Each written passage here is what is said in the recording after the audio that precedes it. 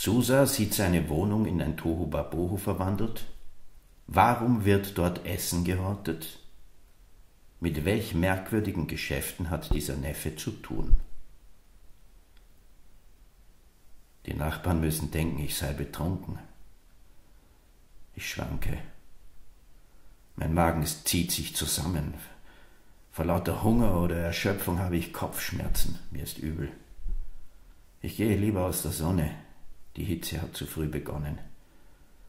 Ich schwitze, stinke. Meine Kleidung ist dreckig. Ich möchte gerne in einem Wasserfall baden, ein Bett haben, den ganzen Tag schlafen. Man sieht niemanden. Die Gebäude sind geschlossen, die Fenster auch.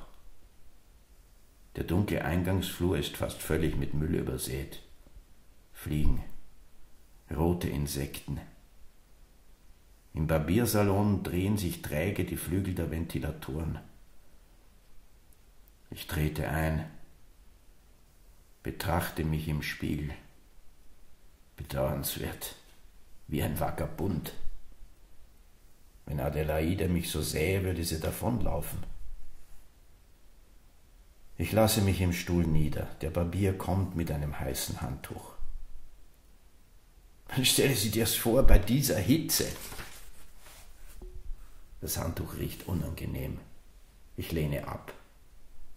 Dieser Salon wird auch mit jedem Tag dreckiger. Heruntergekommen. Die Spiegel haben Risse. Das Kristall verschwindet. Die Stühle sind durchlöchert. Lieber mit Handtuch, Herr Susa. Der Bart ist lang und hart. Wo sind Sie denn gewesen? Ach, nur so. Er sieht mich fragend an. Er kann diese schmutzige Kleidung nicht begreifen. Er hat mich immer gepflegt erlebt. Die Hemden waren von Adelaide gebügelt, der Knoten der Krawatte saß richtig, die Schuhe blank geputzt, die Haare geschnitten und gekämmt. Schließlich hat er den Salon schon seit dreißig Jahren und kennt mich, seit wir eingezogen sind. Die Haut ist ausgetrocknet und verbrannt. Sind Sie denn in der Sonne gewesen? Ein bisschen. Sie müssen aufpassen. Hier, sehen Sie, ein paar merkwürdige Flecken. Sie sollten die Stellen einreiben. Werde ich tun. Ich bin bisher blendend mit Ihrem Neffen ausgekommen. Sehr gut für uns beide. Das verdanke ich Ihnen. Ist er denn vorbeigekommen? Jeden Tag. Er bringt Leute und nimmt Leute mit. Viele. Viele? So viele, dass die Nachbarn sich über das Hin und Her beschwert haben. Nun, Sie wissen, wie das ist. In diesem Gebäude leben viele ruhige Leute. Viel Trubel regt sie auf. Gut, ich bin wieder da. Ich werde all dem ein Ende setzen. Ach, und Sie müssen wissen, dass nach 19.50 Uhr die Türe des Gebäudes nicht mehr geöffnet wird. Anweisung vom Hausmeister. Warum das?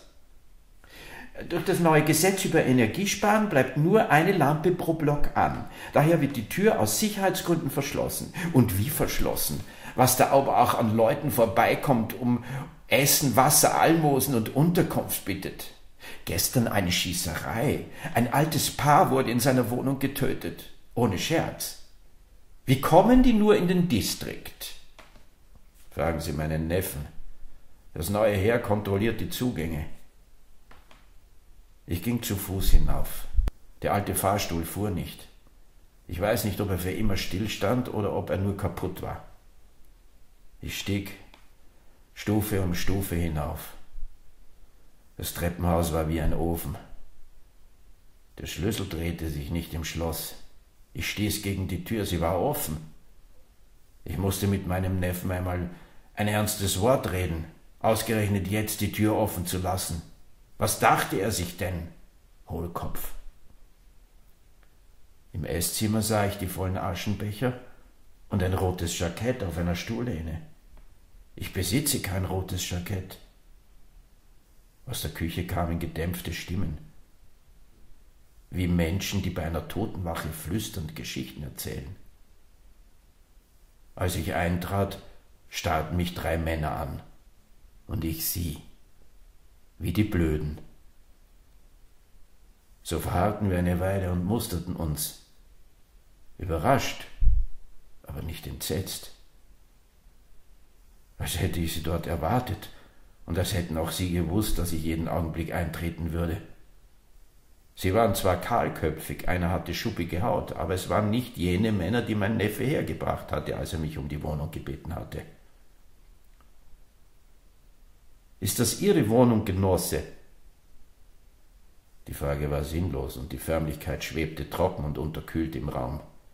Merkwürdige Stimmung. Wir kannten uns nicht und schienen doch Komplizen zu sein. Aus langem Zusammenleben. Wie war das zu erklären? Wie die Scham zu verstehen, die ich empfand, als ich mich als Herr des Hauses zu erkennen gab. Verrückte Welt.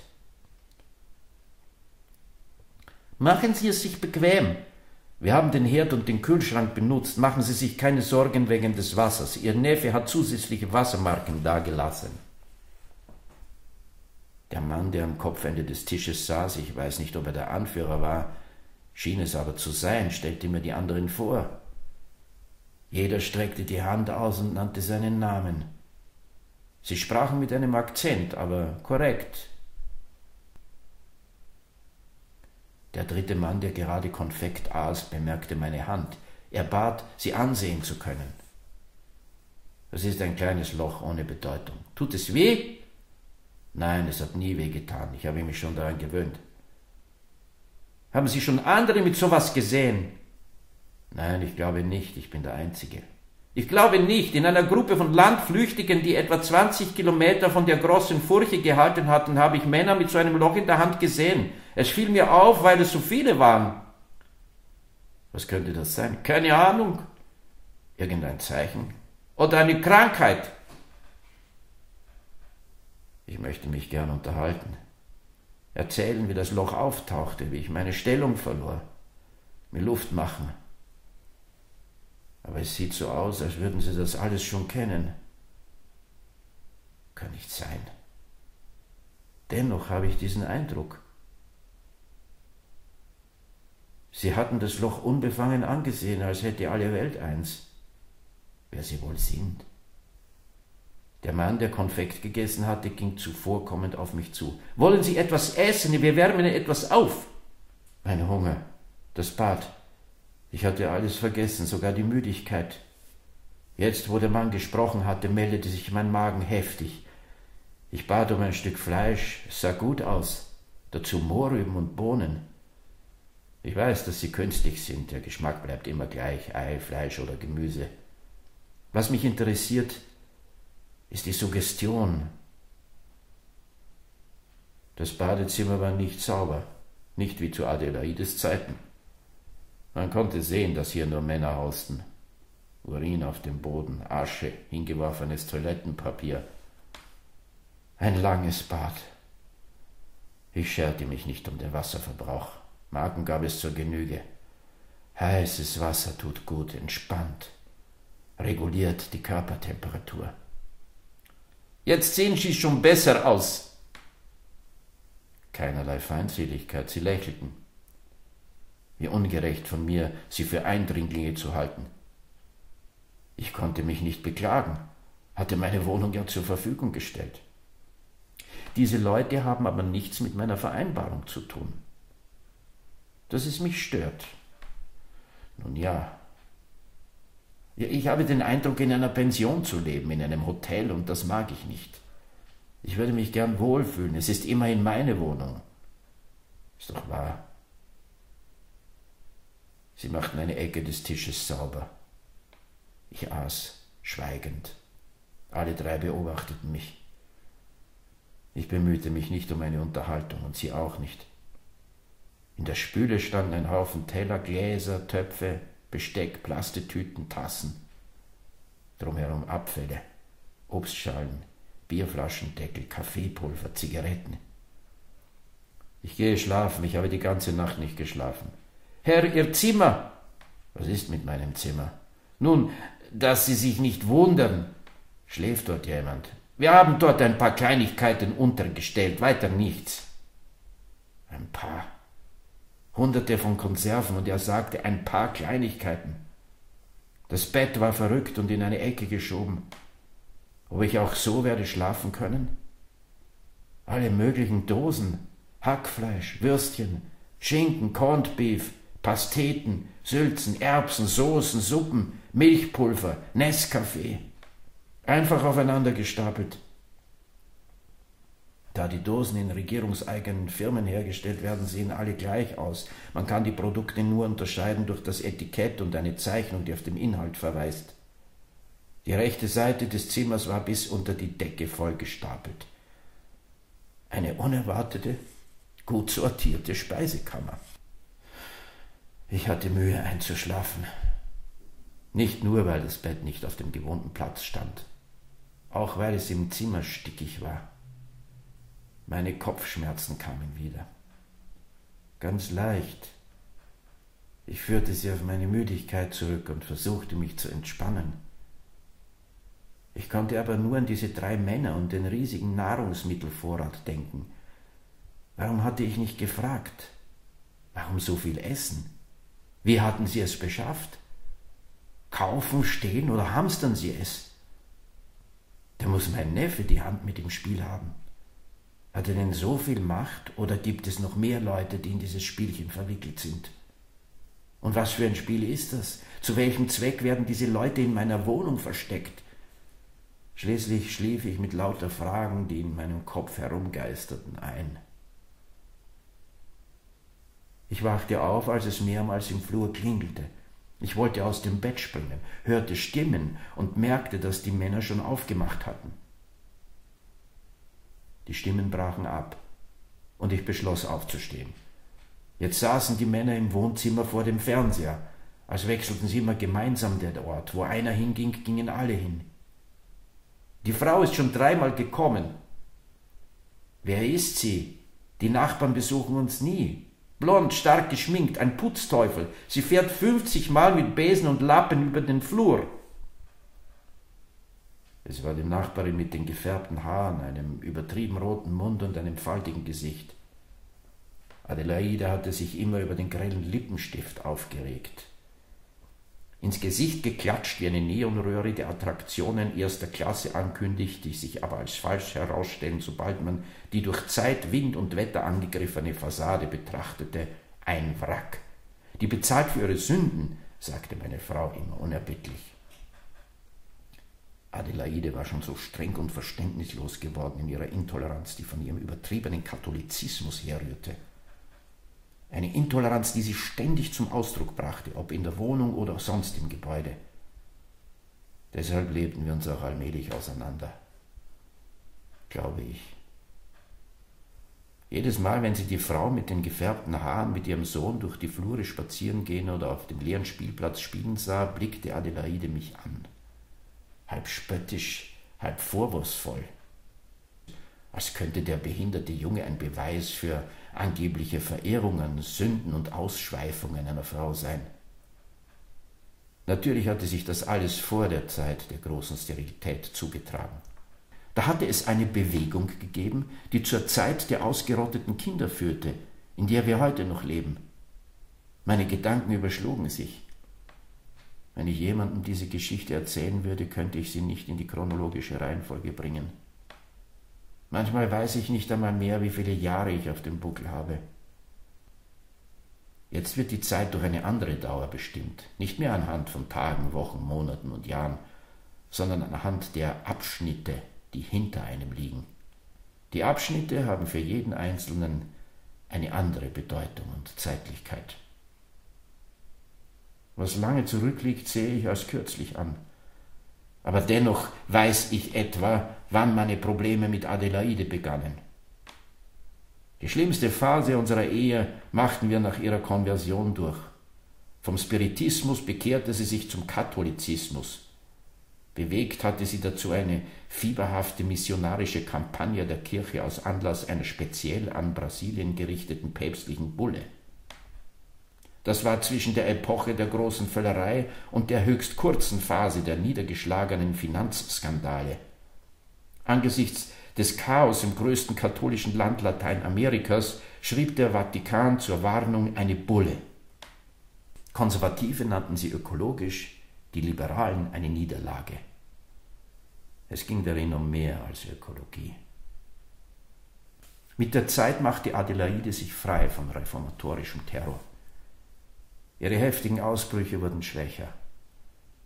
Aber zwischen uns hatte sich eine Barriere aufgebaut. Ich kann ihr nicht alle Schuld geben. Die Menschen lebten in einer furchtbaren Haltlosigkeit. Und dazu verharrte ich in Schweigen, wo ich besser versucht hätte, ihr die Augen zu öffnen. Die Distanz wurde unüberbrückbar. Ich wollte mich trennen. Abgesehen von dem Mann alter Schule, der in mir existierte, mochte ich sie jedoch sehr gern. Ich wusste nicht, was tun. Ich war nie gut in Beziehungen zu anderen. Ich gestehe, es fehlt mir die Fähigkeit, die Menschen kennenzulernen, Krisen zu überwinden, Situationen zu durchschauen. Ich brauche lange, um jemanden kennenzulernen, bin zerstreut, achte nicht auf Gesten, Wörter, kleine Handlungen, die manchmal höchst aufschlussreich sind. Das kann übertriebenes Zutrauen oder Naivität sein oder schlimmer eine Trägheit nachzudenken, Fakten miteinander in Verbindung zu bringen, Augenblicke in Beziehung zu setzen, zu beobachten. Oder habe ich mich in mir verschlossen? In der letzten Zeit konnte Adelaide es nicht ertragen, der Nachbarin mit den gefärbten Haaren zu begegnen. Es gelang mir nie, den Grund dieser Abneigung ausfindig zu machen. Die Frau tat niemandem etwas zuleide. Sie war wie alle, sie beschränkte sich auf das übliche, harmlose Geschwätz an der Tür. In unserem Gebäude hatten immer nur wenige Kinder gelebt. Wenn die Ehepaare hierher zogen, standen sie schon im mittleren Alter. Die erwachsenen Kinder führten ihr eigenes Leben. Die Jüngeren, die hier aufgewachsen waren, wohnten nicht mehr hier. Sie studierten an den Universitäten und tauchten nur während der Ferien oder an Feiertagen kurz auf. Auf dem Spielplatz gab es einmal eine Schule. Sie wurde wegen Kindermangels geschlossen. Jedes Haus hatte seine eigene Schule, das war Vorschrift, damit die Kinder geschützt waren und nicht hinausgehen und sich mit den Unbekannten vermischen mussten, die sich auf den Straßen drängten. Das war, bevor die Bewegungsfreiheit organisiert und eingeschränkt wurde, vor der Sterilisation. Die düsteren Korridore, der Schmutz, das in Apartments eingegrenzte Leben, die Angst vor der Straße, die erstickende Hitze, die Nachbarin, die ein Kind bekam, während sie selbst nie eins gehabt hatte.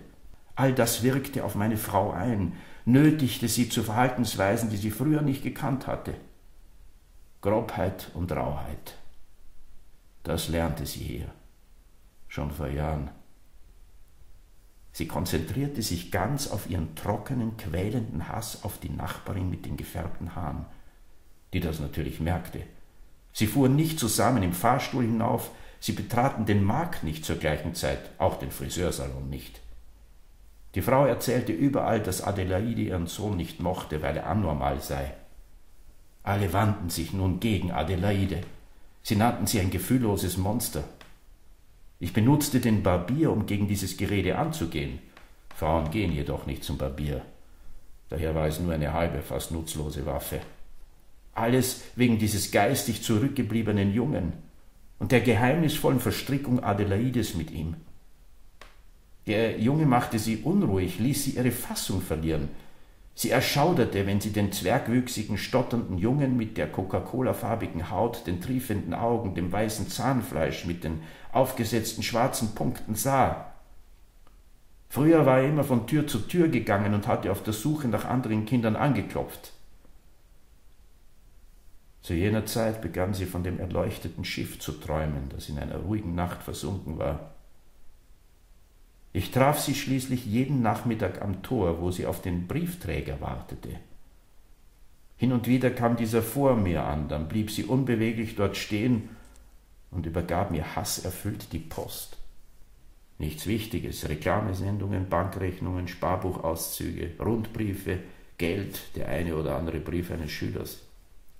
Ich weiß gar nicht, warum so viel Papier, Briefmarken und Zeit mit Sinnlosigkeiten verschwendet werden. Ich will nichts davon in Schubladen und Schränken aufbewahrt sehen. Wirf alles weg, was nichts taugt. Die Familien zogen sich mehr und mehr zurück. Der Behinderte rief Unbehagen hervor. Er war unerwünscht. Er drückte auf Klingeln, klopfte an die Türen, warf Sachen durchs Fenster, hielt den Fahrstuhl fest, zerschlug Scheiben, pinkelte in die Flure, kackte vor die Türen, zerschlug Lampen, verstreute den Müll im Eingang. Er heulte die ganze Nacht über wie ein Wolf und sein Gejammer stieg durch den Zentralschacht auf. Er öffnete die Türrahmen oben und warf Abfälle und Exkremente in die Wohnungen. Die Bewohner kamen mit einem Gesuch. Man möge den Jungen in ein Heim bringen. Mit der Zeit entdeckte man, dass es noch mehr solcher Kinder im Viertel gab. Viele. Die Eltern der Behinderten versammelten sich. Das war ungewöhnlich, da die Menschen kaum miteinander verkehrten und die Häuser nicht verließen. Jedes Gebäude hatte sein Eigenleben, als seien wir überfüllte Transatlantikdampfer, die in einem aufgewühlten Meer schwammen, einer vom anderen isoliert, ohne dass einer dem anderen helfen konnte. Aber man bemühte sich. Auf dieser Versammlung stellte man fest, dass zig Kinder zu derselben Zeit geboren worden waren, alle mit Problemen. Wasserkopf, Taubheit, fehlende Arme oder Beine. Sie waren blind, stumm, hatten seltsame Verfärbungen auf der Haut, Pigmentflecken, Probleme mit der Leber, den Eingeweiden, Nieren, verstümmelte Genitalien, Hasenschaden und Arthrosen. Sie leiteten eine Untersuchung ein und fanden tausende solcher Fälle. Man gründete zur Untersuchung eine Elternvereinigung und man entdeckte Anomalien hervorgerufen durch Aufnahme von mit Merkurium verseuchten Nahrungsmitteln. Man lief zu den öffentlichen Ärzten, einige zeigten Interesse. Man versuchte eine Bewegung in Gang zu setzen. Ich habe den Eindruck, dass dies die ersten Symptome waren, die zur großen Sterilität führten. Niemand spricht darüber, niemand ist so verrückt, sich aus irgendeinem Grund einen Streit einzuhandeln. Die Zeit der ausgerotteten Kinder zu kommentieren ist so schlimm, wie über die ärmsten Lager zu sprechen. Reinste Subversion. Die Sterilität, die Ausrottung, der schwachsinnige Junge, das erleuchtete Schiff, der Brief, auf den Adelaide wartete, ob sie, wo sie jetzt ist, noch immer darauf wartete. Ich spürte, dass das alles zusammenhängt. Sonst würde ich nicht so besessen daran denken. Ich weiß, dass es eine Verbindung gibt, stehe kurz davor, sie herauszufinden. Aber alle schweigen, wie das Gesetz der Mafia. Als die Eltern die Nachforschungen vorangetrieben hatten, folgte das Schweigen. Ärzte wurden versetzt, Einige Eltern versuchten weiterzumachen, man riet ihnen schließlich ab. Wenn sie nicht aufgaben, tauchte ein Lastwagen auf und nahm sie mit. Dann hörte man nichts mehr von ihnen. Hey, hörst du mich? Ja, ja, sicher. Nun, sieht nicht so aus. Sie hatte einen gläsernen, schweifenden Blick. Ich habe dir von der Nachbarin erzählt. Weißt du, wer das ist? Oh ja, was will sie denn? Sie sagte, sie würde später wiederkommen. Sie sah uns ganz misstrauisch an. Ich suchte die Nagelschere. Meine Nägel sind schmutzig und viel zu lang. Das stört mich, ich konnte das nie leiden. Aber ich finde sie nicht. Früher brauchte ich nur zu bitten. Adelaide brachte alles. Sie wusste immer, wo alles lag. Die Wohnung war ihr Bereich. Ich weiß nicht einmal, wo meine Hemden und Socken liegen. Ich lerne allmählich meine Wohnung kennen, entdecke sie. Die duftenden Schubladen aus Zedernholz, die in den Schreibtischen angesammelten Papiere trotz Adelaides Rat alles gleich wegzuwerfen. Seit wie vielen Jahren habe ich schon nichts mehr aus den Schubladen genommen? Ich lege immer nur etwas hinein, immer nur hinein. Das Gedächtnis meines Lebens. Welches Lebens? Dieses nie befragte Gedächtnis wird in den Abfall wandern, sobald ich sterbe. Ich bin nichts in der Ordnung der Dinge. Papiere, Fotos, Rechnungen, Notizen. Welche Bedeutung haben sie? Was dokumentieren sie? Ein normales Menschenleben. Hat sich die Geschichte je für den gemeinen Mann interessiert?